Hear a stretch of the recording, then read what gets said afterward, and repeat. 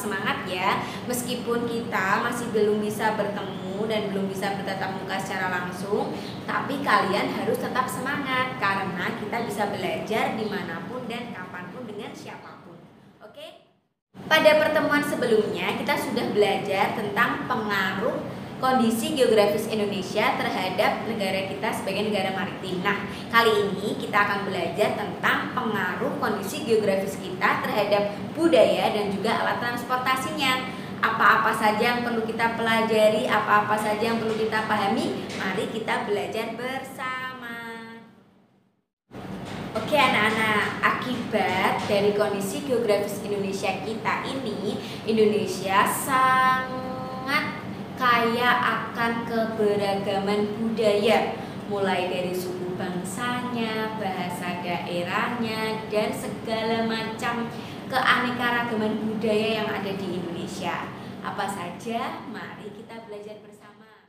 Kita tahu bahwa Indonesia terbagi dalam enam pulau besar yang ada di negara kita tercinta. Yang pertama ada Pulau Sumatera. Di pulau ini kira-kira ada suku apa saja ya? Mari kita belajar bersama. Yang pertama, ada Pulau Sumatera. Pulau Sumatera ini ada suku Minangkabau. Dari mana? Dari Sumatera Barat. Kemudian di suku Minangkabau ini ada juga rumah adatnya, namanya rumah gadang ya. Selain di Sumatera Barat, di Provinsi Sumatera Barat, ada juga di provinsi-provinsi Selain suku Minangkabau, ada juga suku Aceh. Ini berarti di provinsi Aceh ya. Selain itu ada juga suku Batak di Sumatera Utara. Nah, dari Sumatera, ayo kita jalan-jalan lagi ke pulau ini. Pulau mana ini? Pasti tahu ya. Ya, ini adalah Pulau Kalimantan. Di Kalimantan ada suku Dayak. Ya, anak-anak. Dari Kalimantan, mari kita berlanjut. Ke mana enaknya? Ke Sulawesi ya. Mari kita jalan-jalan ke Pulau Sulawesi. Ini di sini dikenal dengan Taman Laut Gunakan ya. Kalian sudah belajar pada kenampakan alam di Indonesia. Nah, di Pulau Sulawesi ini ada suku Bugis. Seperti ini pakaian adatnya. Kemudian mari kita jalan-jalan lagi ke Pulau Papua. Di Pulau Papua ada suku Dani dan rumah adatnya seperti ini, namanya ini rumah adat Honai. Kemudian kita pergi ke Pulau Maluku. Di Maluku ada yang namanya suku Buru. Dari Maluku kita jalan-jalan ke Pulau Nusa Tenggara. Di Nusa Tenggara ada suku Alor. Dari Nusa Tenggara kita pergi ke barat menuju ke Bali. Nah, di Bali ini ada suku Bali.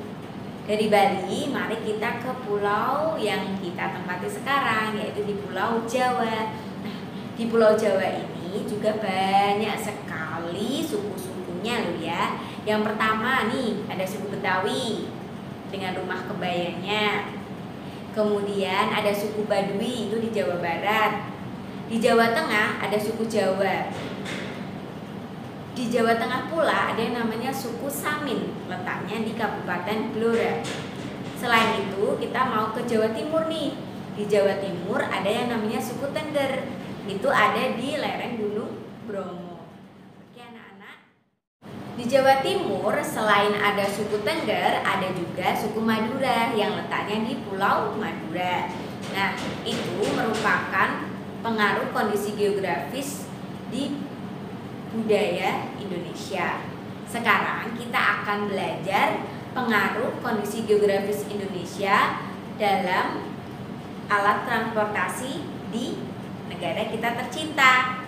Kita tahu kan anak-anak bahwa ada tiga transportasi yang kita gunakan ada transportasi darat, ada transportasi udara, dan ada juga transportasi air. Kalau darat, kalian tahu ada bis, ada sepeda motor, ada juga mobil, ada juga sepeda biasa, dan masih banyak lagi.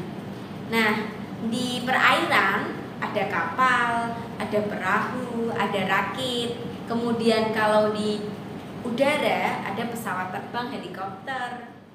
Ya.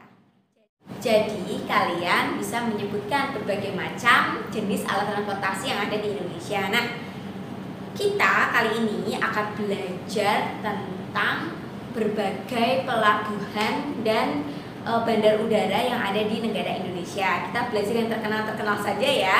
Yang pertama, kita akan belajar tentang pelabuhan. Kita dari Kota Semarang dulu nih. Ini namanya Pelabuhan Tanjung Mas. Letaknya di Kota Semarang. Kalau kalian belum pernah ke sana, kapan-kapan kita ajak orang tua ke sana ya. Kemudian, nah dari kota Semarang kita mau pergi nih ke Jakarta, berarti kita ke pelabuhan ini. Ini namanya pelabuhan Tanjung Priuk.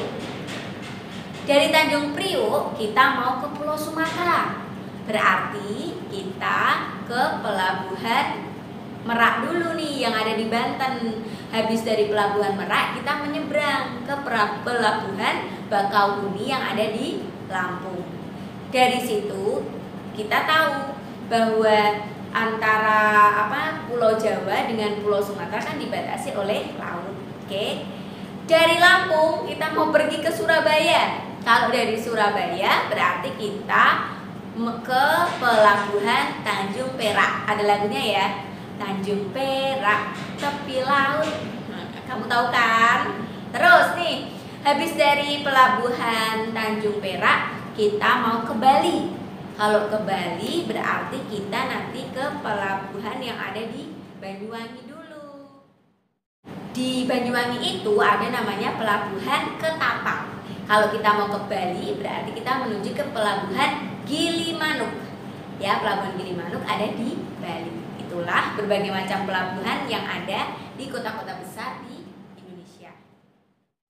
Kalau sudah tentang pelabuhan, kita akan belajar tentang bandar udara.